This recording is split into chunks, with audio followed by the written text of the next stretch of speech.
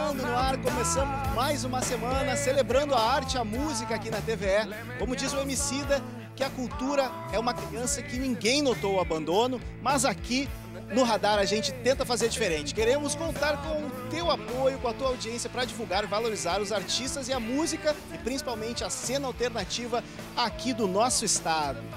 Hoje por aqui um papo sobre o seminário Talk Music, sobre a exposição Cotidiano, Rotinas e Memórias. E a música fica por conta do Cristiano Varisco, lançando o álbum Lúcia McCartney, agora aqui no Radar.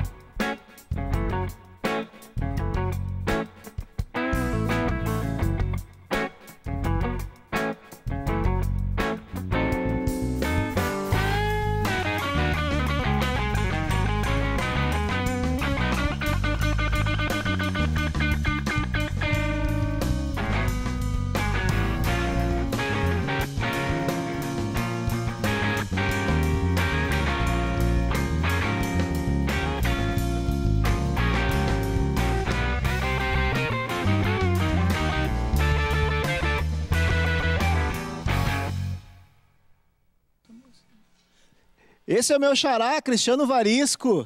E aí, xará, tudo certo?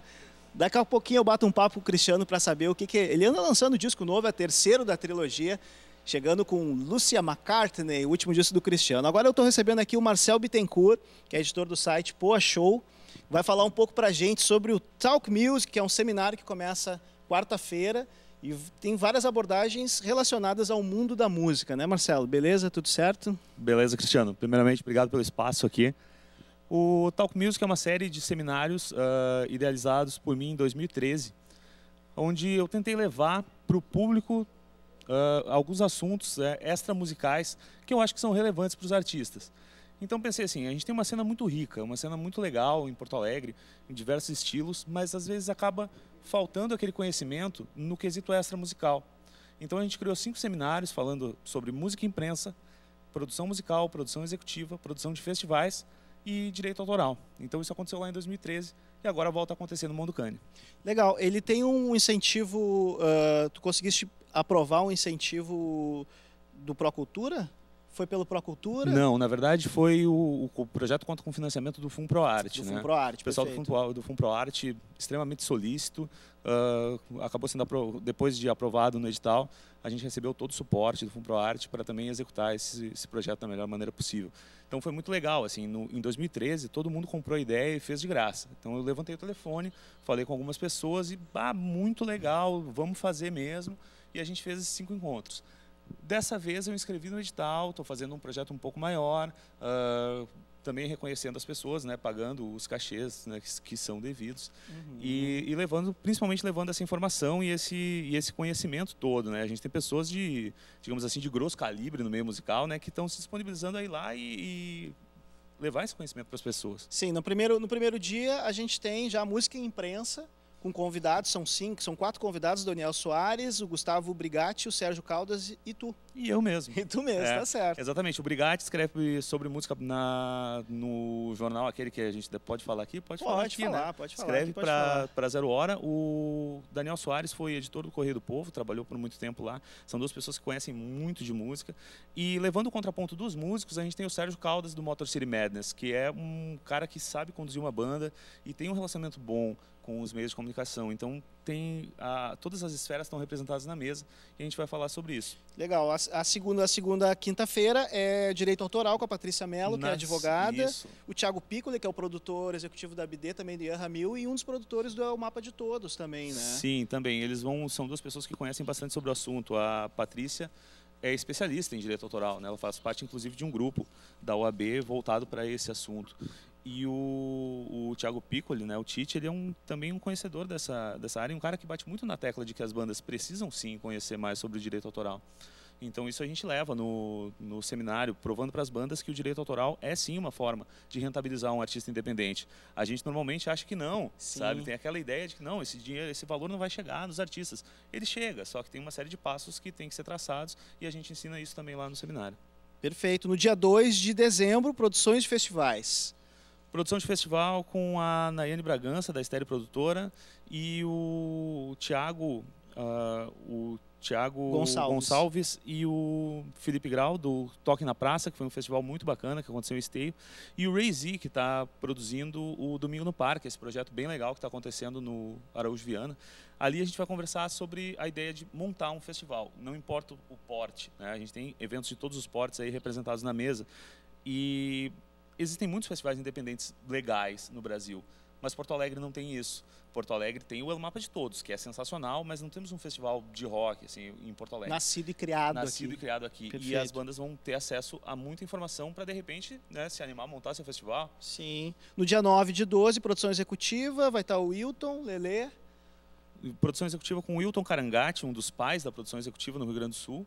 O Lele, que trabalhou com todas as bandas do mundo, eu acho, né, sendo produtor executivo. E o Eduardo da Camino, né, levando o contraponto dos músicos. Ele é da banda Psicopatos, ele também atuou com produção executiva durante um tempo.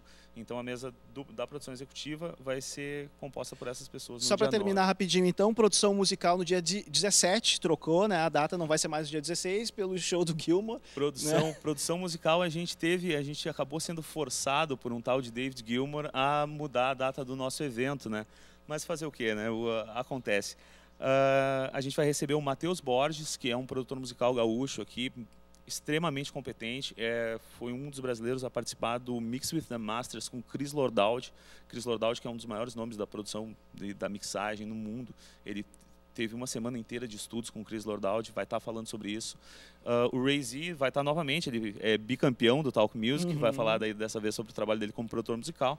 E completa mesa o Marcelo Fruet, que produziu discos excelentes, como o próprio né, disco do Marcelo Fruet e os Cozinheiros, ou Nada Entre Gigantes, que também é ótimo, Jingle Bells, Renascentes, Jingle Apanha- Bells, Apanhador Sol, que é um vários. outro cara também fantástico. Assim, é, é- eu, houve a preocupação de levar para os artistas profissionais muito competentes para falando para eles gratuitamente. E isso é o mais legal de tudo. É Legal. acesso a tudo isso de graça com o apoio do FUNPROARTE. Muito bom, parabéns pela iniciativa. Vamos reforçar o convite então. Começa amanhã, ali, aliás, quarta-feira, no Mundo Cane. Quarta-feira, dia 18, no Dia Mondo Cane, que fica na Cane. João Alfredo 325. A partir das 19 horas, 19h30, mas é interessante chegar cedo, porque na outra vez aconteceu de pessoas ficarem de fora e não conseguirem entrar. Então a gente recomenda que as pessoas que realmente tiverem, tiverem interesse nesses assuntos, que cheguem um pouquinho mais cedo do que o horário previsto. Valeu, valeu, obrigado pelo toque. Talk Music fica ligado, pessoal. Beleza? Chega cedo, Mundo Cane a partir de quarta. Valeu, Marcel. Obrigado, Cristiano. Valeu. Valeu, meu xará Cristiano Varisco, por favor, mais uma.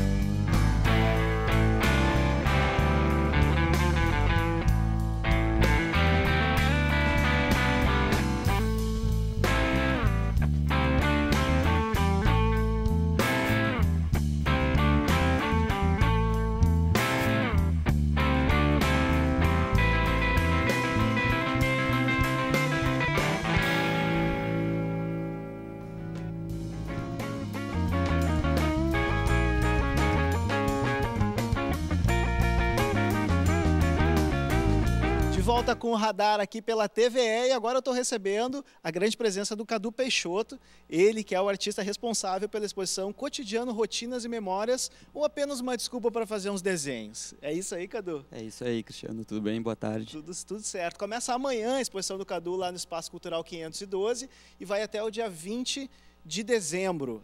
Né? Qual o principal conceito da tua exposição? Assim, como é que como é que tu descreve o teu trabalho que vai estar exposto lá no 512?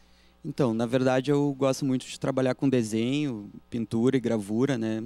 Com coisas que são de, em duas dimensões, que tem uma folha plana, assim. Então, acho que parte daí. Eu acho que a partir daí, com essa folha em branco, a gente precisa ter alguma coisa, né, para colocar nela. E eu acho que a melhor coisa que a gente pode fazer é colocar aquilo que está próximo, né?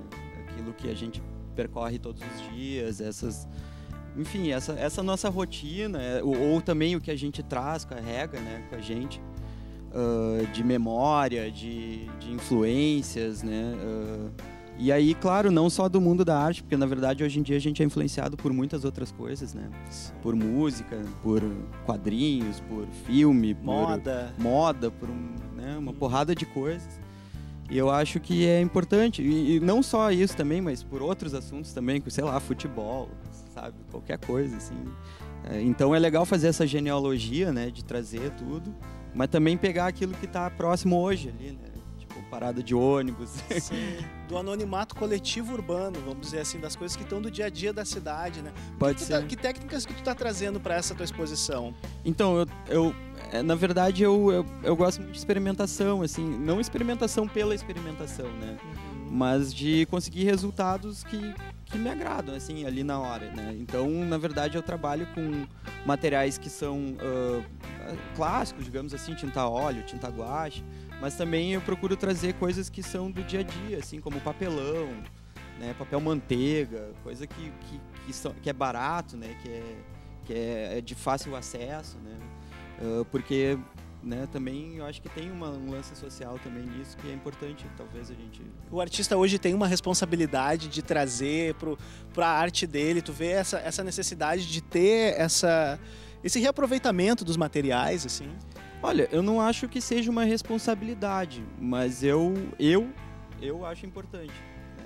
Eu não vou colocar isso para todo mundo, né? Sim. Porque, enfim, cada um acho que é livre para criar, porque a criação eu acho que é por aí, né? Uhum. Mas eu, pelo menos, me preocupo com essa, essa, eh, essa, essa questão, assim, mais social também do campo, e também do campo das artes, né? Social dentro do campo das artes, como funciona, o quanto o material é mais caro, quem usa esse material mais caro. que tipo de assim. material, se ele é ou não agressivo para a natureza, isso é importante claro, também, sem dúvida, né? sem dúvida, com certeza. Quais são suas referências, assim, hoje no as referências antigas assim e as de hoje, assim, quem que tu tem de artista contemporâneo assim que tu que tu curta?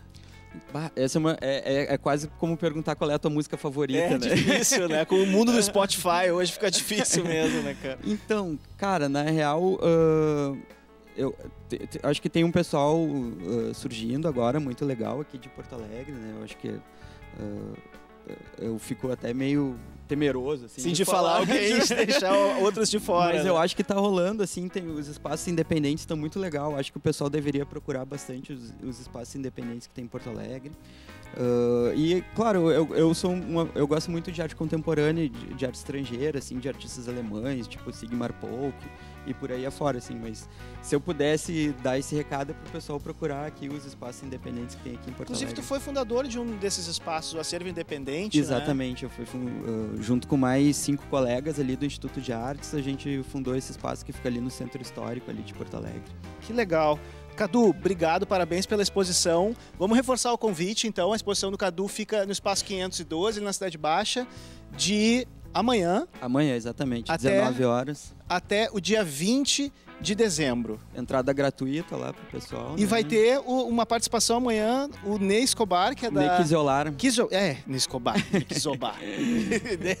Ney Kizobar, que é da Shima Roots, vai estar tá fazendo, mostrando um trabalho Vai estar tá fazendo dele, um né? som, exatamente, um som lá, saxofone e tal, bem legal. Que legal. Obrigado, Cadu. Parabéns mais uma vez. Imagina, obrigado. Valeu. Varisco. Go.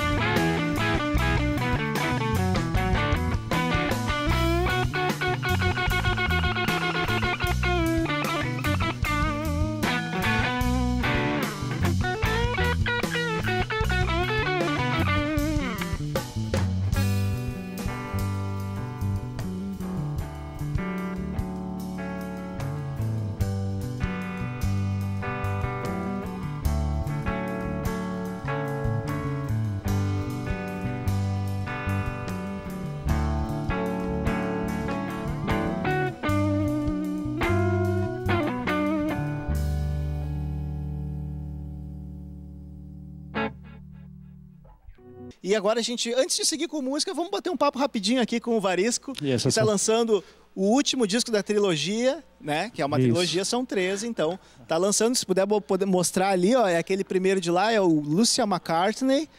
obra do Rubem Fonseca, da literatura. O do meio, o segundo, é uma coisa voltada para o cinema. E o primeiro, a Aline, é uma artista plástica. Então tem essa coisa das artes visuais, do cinema e agora da literatura com Lucia McCartney, que eu vou estar lançando aí com os amigos, né? Jack of Hearts, Ismalha, Legal. Santa Maria, dia 18, quarta-feira agora. Legal, daqui a pouquinho a gente vai falar mais. Vamos, vamos, vamos curtir agora o quê? Qual vai ser a próxima música, Cristiano? É, Vertigens Paralisantes do disco Lucia McCartney, do último da trilogia. Legal. Cristiano Varisco, aqui no radar. Daqui, deixa que eu boto aqui pra gente.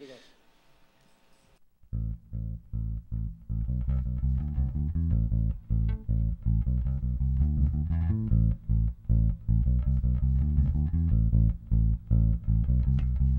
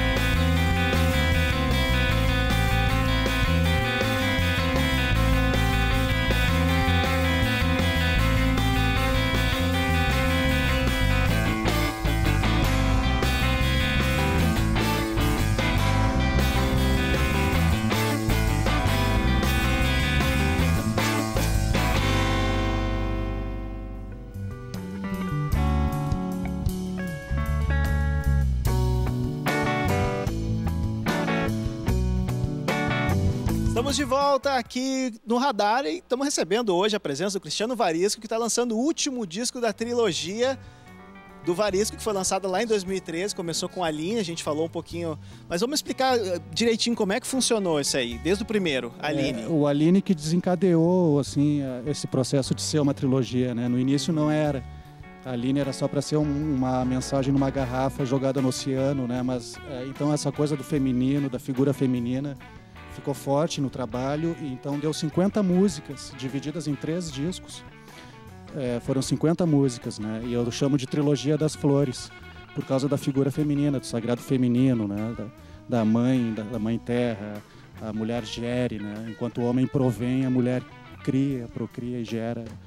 Então essa coisa assim mais tribal, isso, tribal, hein? né? É. São coisas dos nossos antepassados, né? Essa- certeza, vai né? se perdendo vai aí, se né? perdendo um Na pouco, ci- na né, Cidade Baixa. do- dos anos, a gente vai perdendo essa conexão, né?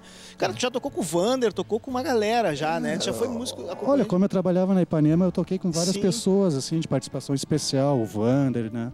Mas quem eu acompanhei mesmo, assim, profissionalmente, é o Júlio, o Jimmy, os Daltons, né? O Júlio Reni, Jimmy Joe. E, e os outros eram mais participações, assim, né? Pelo fato de trabalhar na rádio e ter a Folharada Blues Band, que sempre tinha Claro, convidados. Então eu acabei dividindo, dividindo o palco ali, né? Sim, Um projeto e outro, coisas dos anos 90. claro. E o Trilhas Sonoras para Filmes Imaginários. Esse foi indicado, tá- foi indicado agora pro, pro Açorianos 2014-2015.